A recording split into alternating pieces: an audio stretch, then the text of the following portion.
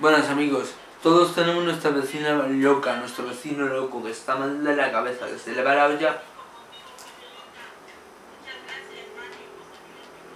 Que se le va la olla de una manera increíble, pero bueno, hoy quería comentar una cosa, que es eso, mi vecina loca. es más, ya tengo nombre, lo voy a llamar la vecina loca. La vecina que, que nunca aprende, la vecina loca. Bueno, pues mi vecina está como una puta cabra. No voy a decir de qué planta es, ni voy a decir nada. Pero hoy salgo a la calle, como todos los días, un día normal, en el que salgo a la calle, salgo con mi patinete, porque tenía que hacer unas compras, ¿vale? Y yo pensando, oye, pues, hoy va a ser un día maravilloso, hoy va a ser un día increíble. Salgo, yo con intención de abrir la puerta y me aparece la vieja esta, la señora mayor, respetémosla, pero no es una de ese respeto para nada, abro la puerta y la abro hasta el fondo. Abre ella la puerta y empieza, oye, ¿qué? oye, ¿qué? Que, que la puerta no me sale así, que como se rompa la vas a pagar, la vas a pagar tú entera. Y me quedo en plan, con esta mirada. Y no le he dicho nada por respeto, pero sinceramente era para decirle algo. Sinceramente era para decirle algo, porque eh, aquí esto es una comunidad de vecinos, ¿vale? Y en una comunidad de vecinos siempre hay una empresa aparte que gestiona todo. ¿vale?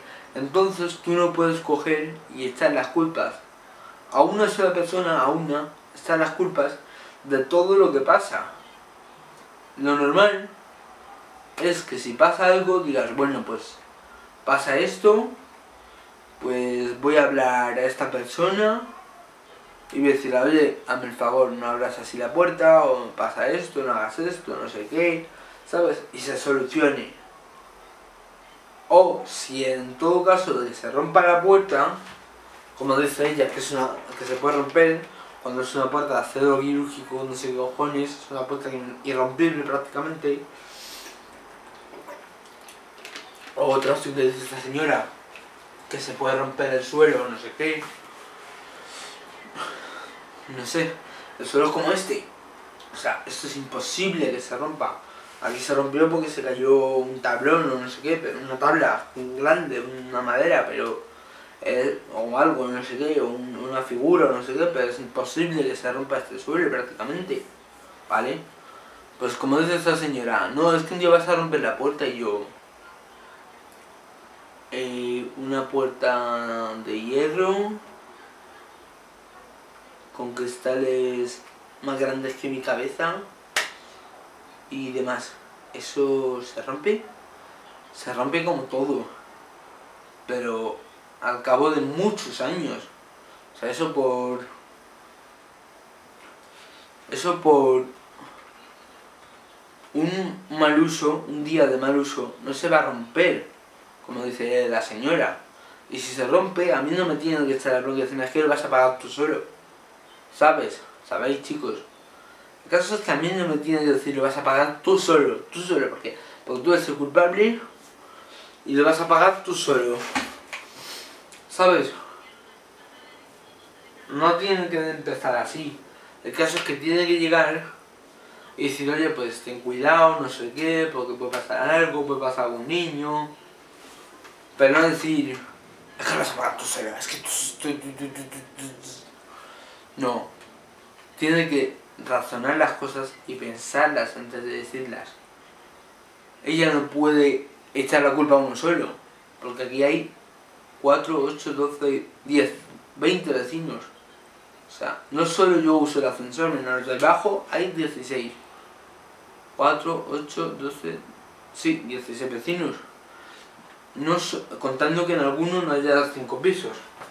16 vecinos, contando es que no se puede calcular ni de cabeza, contando 16 vecinos por más o menos mínimo tres personas que vivan en cada piso, yo creo que no soy el único que usa el ascensor, ¿eh? te lo digo, no creo que sea el único. ¿Sabéis? Eh, pues no creo que sea el único que use el ascensor, no creo, no creo, a lo mejor soy el único. Soy a lo mejor, a lo mejor puedo ser el único que vive en el planeta. A lo mejor soy el único que vive en el universo. Por ser puede ser cualquier cosa. Me extraña. Lo que pasa es que esta señora se aburría, la apetecía, la le respondieran. Y ha dicho, venga, como este chaval nunca me responde, voy a picarle un poco. Y, y a picarle un poco a ver si me responde. Pues hombre, no te he respondido de milagro. Pero si te respondo, te respondo bien. Ahí, ¿sabes? Porque lo que no es normal es que venga aquí buscando movida cuando yo busco estar lo más tranquilo posible, estar relajado, señora, busco estar relajado. No como usted, que busca estar todo el día de los nervios, busca estar todo el día nerviosa, busca estar todo el día tranquila, busca estar todo el día desquiciada. No, nerviosa, tranquila, de los nervios, desquiciada. O sea, relájese, viva la vida. ¿Sabe? No puede estar todo el día desquiciada de los nervios. O es, a lo mejor es mi parecer y lo que a mí me parece.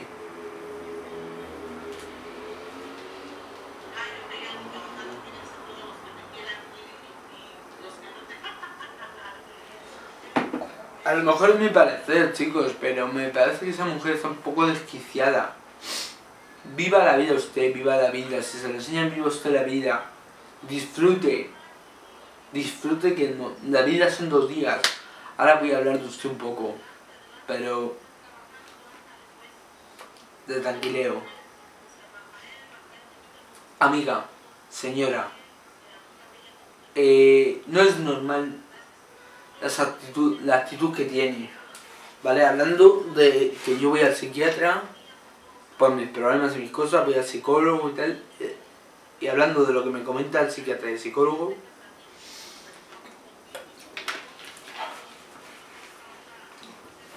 hablando de eso, yo comento mi experiencia, lo que me comentan, lo que me dicen, ¿vale?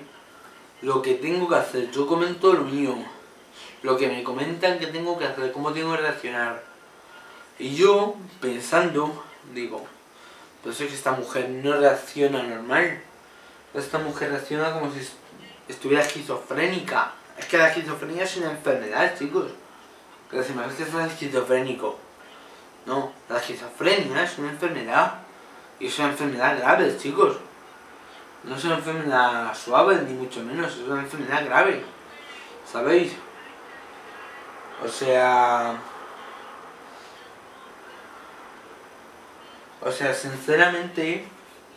Eh, no puedes andar todo el día, no puedes andar todo el día, señora, molestando a todos los vecinos, molestando a todo el mundo, fastidiando a todo el mundo, porque al final un día la van a responder y no me gustaría que la respondieran, pero sinceramente lo que no pueden dar es todo el día fastidiando a todo el mundo, ¿sabe?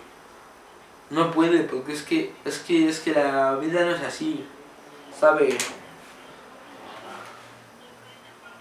Eh, bueno,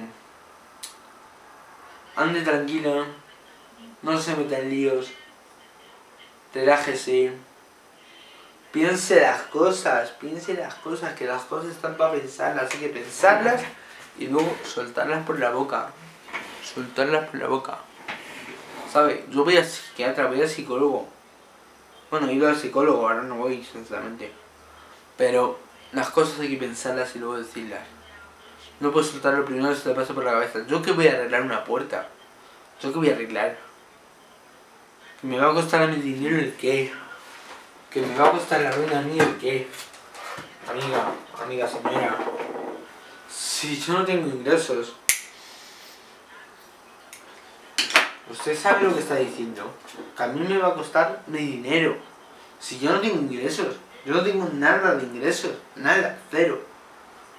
¿Qué ingreso me va a costar, señora? Piense un poco las cosas, por favor. piense un poco las cosas porque... Piense un poco las cosas porque sinceramente no sabe lo que está hablando.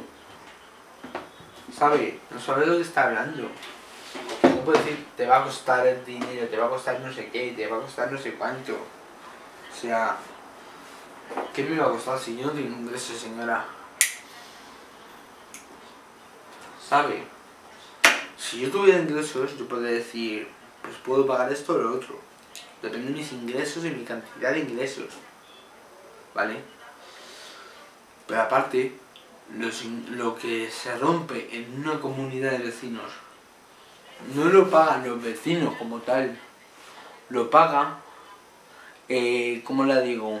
Lo paga una empresa que tiene contratada esa comunidad. La, empresa que tenga contratada esa comunidad es quien paga las cosas que se rompen en la comunidad.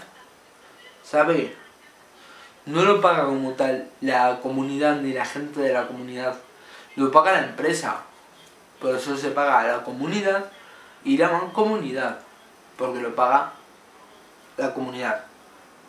Que en este caso es tal, tal, tal. No voy a decir el nombre para no comprometerlos, no sé si ya lo he dicho, no me acuerdo, pero lo paga esa empresa, ¿vale? Eh, bueno, sinceramente, mm, no puede usted cuestionar que, que yo...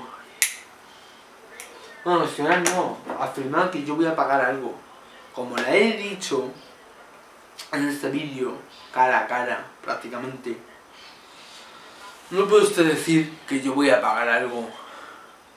Porque eso no lo pago yo, lo paga la comunidad. Que para eso nosotros y todos los vecinos, tirando para abajo, todos, pagamos comunidad. Pues